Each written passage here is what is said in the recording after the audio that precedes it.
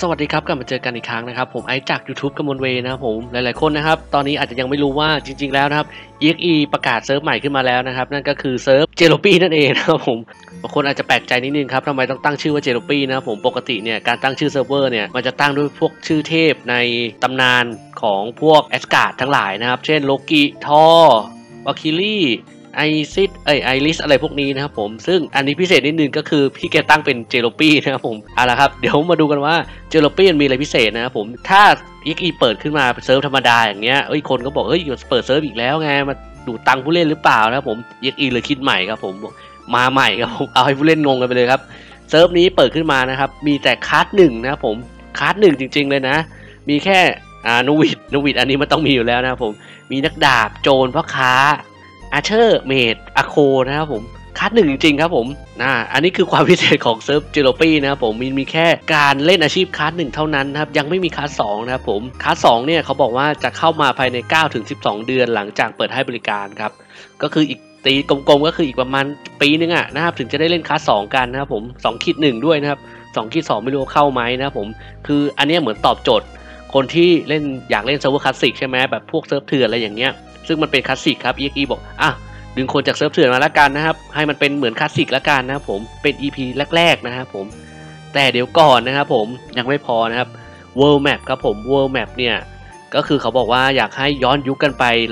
ช่วง r a g n a r o k EP แรกๆนะครับผมก็ World Map ก็เลยหดลงมานะครับผมมันก็จะตัดเมืองที่เราใหม่ ๆ ที่เรารู้จักกันไปนะครับผมเช่น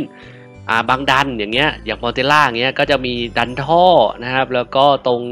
อ่า Hidden Temple ยังอยู่นะผมส่วนอีลูเนี่ยก็ยังมี Byalan อยู่นะครับผม Morroc จะมีสฟิงค์พีระมิด Ant Hell เหมือนเดิมนะครับผม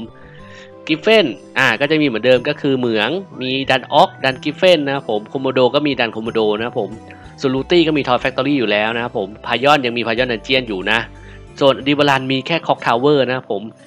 คือเลยจาก Al De Baran ก็คือเลยจากนากาขึ้นไปเนี่ยไม่มีแล้วไม่มีแผนที่นะครับ จะไปเก็บดอกไม่ได้จะเก็บสลิปเปอร์ไม่ได้นะครับผม แล้วก็อ่า Alberta ครับ Alberta มีแค่จุดเรือล่มนะครับผมไปลาดเด็กได้อย่างเดียวนะครับ ไม่สามารถไปเกาะเต่าได้ ไม่สามารถไปเมืองเมืองที่เป็นเมืองต่างประเทศได้ทั้งหมดครับเกาะเต่ากังริวลั่วหยางอามัสึอโยธยาเงี้ยไปไม่ได้เลยนะครับผมใน EP ที่ในแผนที่ที่เขาบอกนะครับ อีกอย่างหนึงก็คือเขาบอกว่าใช้ EXP Table เหมือน r e v o c a s s i c ก็คือ 99 ต้องใช้140ร้อยประมาณ 150 ล้าน EXP ช่วง 98 ไป 99 นะครับผม ก็เหมือนเดิมครับเก็บเร็วคิดว่าเออเอานักดาบไปตี Orc แล้วกันนะครับผมไปตี High Orc จน 99 นะครับผมลากไม่ได้เพราะไม่มี Bowling Bash นะครับ อย่างมากก็คือ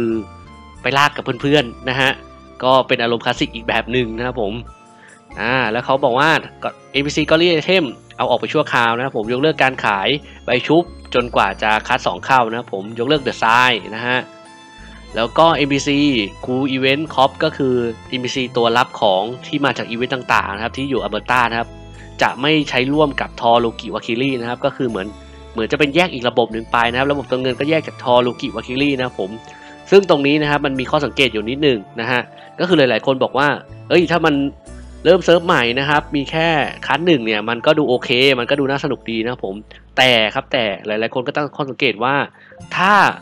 มันมีหมวก cash มีของปั๊มเหมือนเซิร์ฟ Revo Classic ที่เล่นอยู่กับปัจจุบัน เราจะไปเล่นทำไมนะครับผมลำบากก็ลำบากนะครับผม คือถ้ามีหมวก cash เนี่ยมันก็จะมีอาชีพเทพๆอยู่ก็คือใส่หมวกงูหมวกยอดนิยมและหมวกงูนะฮะหมวกปีโกยังมาแน่นอนนะครับผมถ้ามันเอาหมวก cash เข้ามาอยู่นะ ซึ่งถ้าเป็นแบบนั้นอะ เล่น Revo Classic ไม่ดีกว่าเหรอ เพราะมันมีถึง High Class แล้วตอนนี้นะผมจะไปจำกัดอยู่แค่คาร์ดหนึ่งแล้วไปลำบากทำไมนะผม ซึ่งบางคนเนี่ยอาจจะชอบความคลาสสิกก็ไม่ได้ว่าอะไรนะผมก็ลองเล่นได้นะ แต่นั่นแหละครับก็คือมีหลายคนบอกว่าถ้ามีหมวก cash มีของ cash เข้ามาเนี่ยมันก็ อารมณ์เดิมครับผมก็ไม่มีประโยชน์ที่จะไปเริ่มใหม่ไปเล่นใหม่นะครับผมมันก็คือของเดิมที่เราเล่นกันมาเป็นปี 2 ปีนั่นเองนะครับผมอีกอย่างหนึ่งนะครับผมก็คือมันเป็นคัสหนึ่งแล้วไปเก็บเลเวลนะครับสกิลหมู่ของแพทคัสหนึ่งครับมีอะไรบ้างครับผมมี Thunder Storm ของ Mage นะครับ Magnum Break ของ Swordman ซึ่งไม่ได้ใช้จริงหรอกครับ Magnum Break เนี่ยอ่ามีคาร์เรวอลูชันของพ่อค้านะครับผม Arrow Shower ของ Archer นะครับผม Aco เนี่ยไม่มีสกิลโจมตีเลยนะฮะโจรอย่าไปนับมันนะครับลูกเป็นน้อยมากนะฮะคือสกิลหมู่มีแค่ 3-4 สกิลนะครับผมกับการไปเก็บเลเวล hardcore ด้วย Revo Classic นะครับต้องไปลาก High Orc กี่ฝูงนะครับผมถึงจะไปให้ Mage Thunder Storm ได้นะผม แน่นอนว่ามันคงสนับสนุนการเล่นเป็นปาร์ตี้พอสมควรนะครับ ไม่งั้นนี่อยู่ยากครับผมอ่าถามว่า Jellopy เนี่ยเซิร์ฟเวอร์ Jellopy เนี่ยมันมีผลกระทบอะไรบ้างนะครับผม อย่างแรกเลยก็คือ ข้อจำกัดด้านอาชีพใช่ไหมครับผมเราจะมีแค่อาชีพคัดแรกนะครับ ผมเป็นนักดาบโจรพ่อค้า Archer Aco อะไรอีก Mage นะฮะผมลองคิดดูว่าถ้าเป็นนักดาบนะฮะนักดาบหน้าที่ของมันคือแท้งอ่าแน่นอนมันเล่นสาย AGI STR ได้อยู่นะครับผมเพราะก็ยังเล่นได้มันข้อดีของมันคือเลือดเยอะนะครับผมก็ยังเล่นได้ปกติ ก็ใส่เครื่องกล้ามกางเกงในใส่ดาบสองมือตีปลายเพราะตีแรงนะครับผมอ่าก็ อาจจะไปอัพสกิล Provoke แทนเพื่อลด DEF มอนนะครับผมอ่าอันนี้คือ AGI STR ครับ ถ้าเป็นวิสเต็งล่ะ มันลากไม่ได้ บอกเลยว่านักดาบลากแล้วโบเองไม่ได้เพราะมันไม่ใช่ Knight มันต้องไปตี้คนอื่นก็คือเป็นนักดาบใส่ VIT เพื่อจะใส่โล่ใส่ดาบมือเดียวนะครับผมแล้วก็มีหน้าที่ไปลากให้เพื่อนนะครับผมอ่าอันนี้ก็ได้เหมือนกันสำหรับคนที่ชอบปาร์ตี้ต่อมาก็คือ Mage Mage เนี่ยมันเป็นแทบจะเรียกว่าเป็นคนเดียวที่มีสกิลหมู่แบบจริงจังๆ ก็คือ Thunder Storm นะครับผม น่าจะเป็นที่ต้องการของปาร์ตี้มากขึ้นนะครับผมและอาจจะมีสายที่เล่นโซโล่ก็คือเป็น Safety Wall แล้วก็ Thunder Storm ก็คือลากเอง เก็บเองไบยาลันน่าจะฮิตขึ้นอีกเยอะนะครับไบยาลันชั้น 5 เนี่ย ลาก Merman กันเพลินเลยนะครับคัดหนึ่งเนี่ยอาจจะมีสายสายดั้งเดิมนิดนึงก็คือสาย Fire Wall ไฟโคอ่า Fire Bolt อ่าอันนี้ก็ยังใช้ได้อยู่นะครับ แล้วก็ต่อมาก็คือโจร อันเนี้ยซวยนิดนึงคือมันไปไม่ถึงแอสโจรเนี่ย หน้าที่ของมันอย่างเดียวที่นึกออกก็คือ Steal นอกนั้นนึกไม่ออกเลยครับผมหน้าที่ของมันก็คือเนี่ยมันก็เหมือนมันก็คือ Rogue อะที่ต้องกด Steal เองครับถ้าเป็นโจรในเซิร์ฟ Jellopy นะถ้าที่ผมคิดไว้นะครับต่อมาAco อันนี้น่าจะเป็นที่ที่คนรักมากนะครับ ก็ AB ฮิวทุกอย่างอะ ทุก sup อยู่ที่มันหมดแล้วครับ Aco เนี่ยต่อมาครับ Archer และก็ล็อกนะครับจะเปลี่ยนจาก Hunter ออนไลน์เป็น Archer ออนไลน์แทนนะครับผมเพราะเราสุดแค่ Archer นะครับยัง Double Strafe ได้เหมือนเดิมนะฮะสกิลยังยิงแรงเหมือนเดิมครับผมไม่ต้องกลัวครับเรื่องสกิลเรื่องสเตตัสเนี่ย Archer เหมือนเดิมเล่นเหมือนเดิมได้ทุกอย่างครับผมเพราะ Hunter มันก็ไม่ได้มีสกิลอะไรเป็นจริงเป็นจังยกเว้น Hunt Trap นะฮะ Hunt Trap เนี่ยมันจะใช้ trap ใช่ไหมแต่ถ้าเป็นสาย bird สายนกเนี่ย อ่านกก็ใช้ไม่ได้ช่างมันก็จะเป็นสาย bird ก็คือเหมือนเล่นเหมือน Archer นั่นแหละนะฮะ แต่ที่ซวยสุดๆ คือพ่อค้าครับพ่อค้ามีหน้าที่อะไรบ้าง OC DC อ่าแน่นอนตั้งร้านนะครับผมสายตั้งร้าน อีกสายหนึงสายบู๊เล่นไงล่ะคราวนี้ อย่างมากก็คือสาย AGI STR ไม่มีสกิลช่วยอะไรเลยนะครับ ชีวิตนี้มี Crazy Uproar อย่างเดียว STR บวกห้าไม่ได้ช่วยอะไรจริงๆจังเลยอีกอย่างหนึ่งก็คืออีกสายหนึ่งก็คือ สายลากสาย VIT STR นะครับผม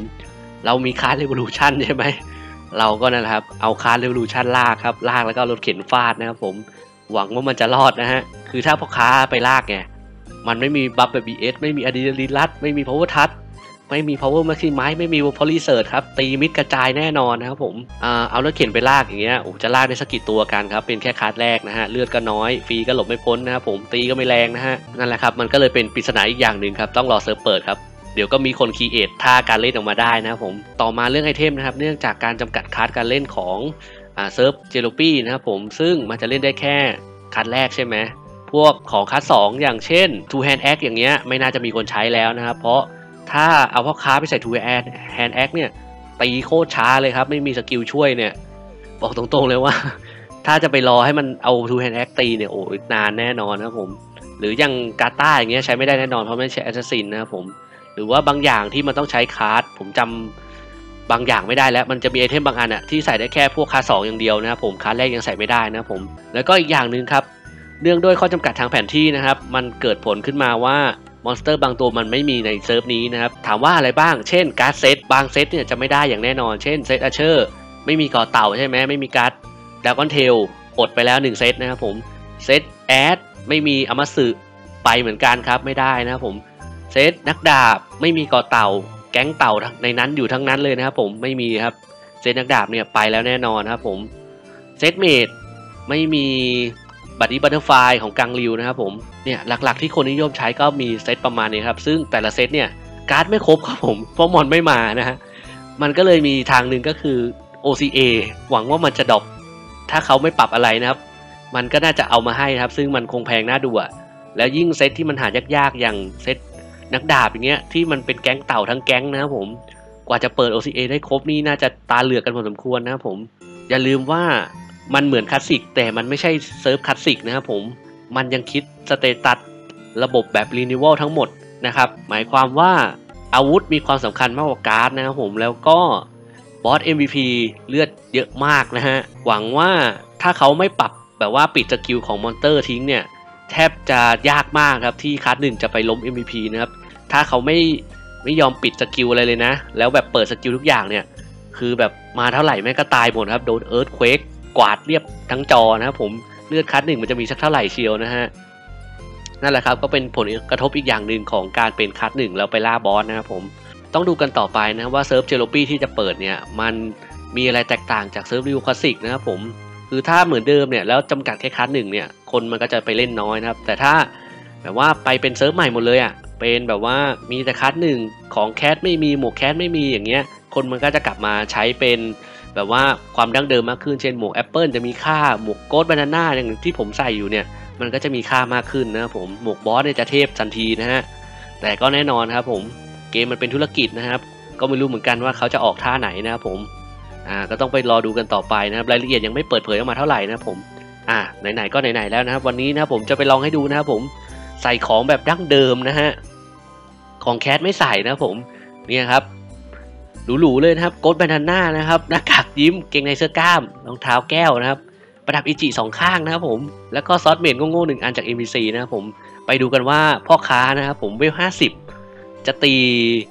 อ่ากล่องของขวัญเป็นยังไงบ้างนะฮะนี่ครับแซมเปิลครับผมแซมเปิลครับโอ้โหเป็นไงครับดาเมจประมาณ 100 นะครับ ไม่มีหมวกงูนะครับ ไม่มีเบิร์นใดๆทั้งสิ้นนะครับผม อย่างมากก็คือ ใช้ใช้เป็นการดหูดำนะครับ ซึ่งก็ไม่ได้ช่วยอะไรมากมายนะผมอ๋อถ้าเป็นเซิร์ฟคันหนึ่งเนี่ยโจรน่าจะได้เปรียบนะครับ โจรเพราะโจรใส่ธนูและใส่งูดำได้นะครับ มันจะเบิ้ลไกลๆได้นะครับผมก็ทำ damage ได้ดีในระดับหนึ่งเลยนะฮะอ่านี้เพิ่งนึกออกเหมือนกันนะครับผมมาครับ เดี๋ยวกดยาเร่งให้ดูนะครับผมปุ๊บ ASPD 177นะครับ ด้วยความโหดเหี้ยมอำมหิตของ sword mace เรานะครับตีนะครับ ดูครับตี cursor มิดด้วยนะฮะนะครับเราอยู่บนความสบายมากเกินไปนะผมมาอยู่กับความลำบากบ้างนะครับผมอ่าก็คือผมว่า EXE ก็หวังจะเรียกคนจากพวกเซิร์ฟเถื่อนที่เป็นคลาสสิกนะครับผมแต่ก็อย่าลืมว่าคือถ้ามันเป็นคลาสสิกแบบที่ของแค t เวอร์คนก็ไม่ค่อยอยากจะเล่นกันเท่าไหร่นะครับผมถามว่ามันสนุกไหมก็โอเคนะ มันก็สนุกในระดับหนึ่งนะครับ ก็ต้องดูต่อไปว่าเขาจะมาแผนไหนต่อนะครับ ซึ่ง ตอนนี้นะครับวันที่อัดคลิปแผนยังมาไม่เยอะนะครับ แค่บอกรายละเอียดว่ามีแค่คัดหนึ่งจำกัดเวล map เท่านี้นะครับผมจะจำกัดอะไรบ้างนะครับ ถามว่าน่าเล่นไหมมันก็น่าเล่นสำหรับคนที่ชอบนะครับอ่าอันนี้ก็แล้วแต่คนที่ชอบครับ คือถ้าชอบก็ชอบเลยนะครับ ก็จะเป็นความคลาสสิกอีกแบบหนึ่งที่จะเป็นเล่นได้แค่คัดแรกนะครับ มันจะไม่มีแบบว่า hunt trap อะไรอย่างนี้ ไม่มี knight bow ให้รำคาญใจนะครับผมก็จะมีแต่ คนกันเองนะครับ ก็ช่วยกันลากช่วยกันเก็บเวลนะครับผมซึ่งก็ต้องดูว่าเขาสนับสนุนระบบปาร์ตี้แค่ไหนนะครับผมถ้าถ้าระบบปาร์ตี้เขามีแบบตัวคูณที่เป็นแบบว่าระบบคูณปาร์ตี้ที่ให้เก็บเลเวลกันมากขึ้น ผมว่าคนน่าจะตีกันเยอะขึ้นนะครับ ไม่ได้แบบว่าสร้างสองจอมาตีกันเองแบบนี้นะครับผมอ่าอันนั้นก็จะทำให้แบบว่าคนเขาอยากไปเล่นเป็นสังคมมากขึ้นครับเพราะทุกวันนี้เนี่ยส่วนใหญ่ก็เล่นกันสองจอทั้งนั้นนะครับ มีน้อยมากครับที่จะไปจับคู่กันนะครับ หรือว่าปาร์ตี้กันนะฮะ นั่นแหละครับ ก็หวังว่าทาง EXE นะครับจะแก้ไขปัญหาเหล่านี้ได้นะครับ เรื่องของ cash เรื่องปาร์ตี้ เรื่องสังคมในเกมนะครับผมก็หวังว่าเขาจะหาทางมาจัดการได้นะครับผมเพราะเราก็อยากเล่นแร็กไปนานๆใช่ไหมอยากให้สิ่งดีๆ ในชีวิตมันเกิดขึ้นนะครับ อยากให้มี patch 175นะครับอันนี้ไม่เกี่ยวครับ ส่วนตัวล้วนๆนะฮะคลิปนี้ก็มาให้ดูนะครับว่าเซิร์ฟ Jellopy มันมีอะไรบ้างนะครับ เดี๋ยวมาเราดูกันอีกทีนะครับ ช่วงเขาปล่อยรายละเอียดออกมาแบบเต็มๆนะครับ ก็ ดี๋ยวมาดูกันว่าจะมีอะไรกันบ้างนะครับสำหรับวันนี้สวัสดีครับ ใครมีข้อสงสัยอะไรเนี่ยก็สอบถามได้นะครับผม ถ้าใครยังไม่เคย subscribe นะครับ ก็ลองกด subscribe ดูนะครับ ถ้ากดแล้วนะครับ อย่าลืมกดกระดิ่งให้ด้วยนะครับ เวลามีคลิปใหม่ๆเนี่ยจะได้เข้าฟีดของ YouTube นะครับสำหรับวันนี้สวัสดีครับ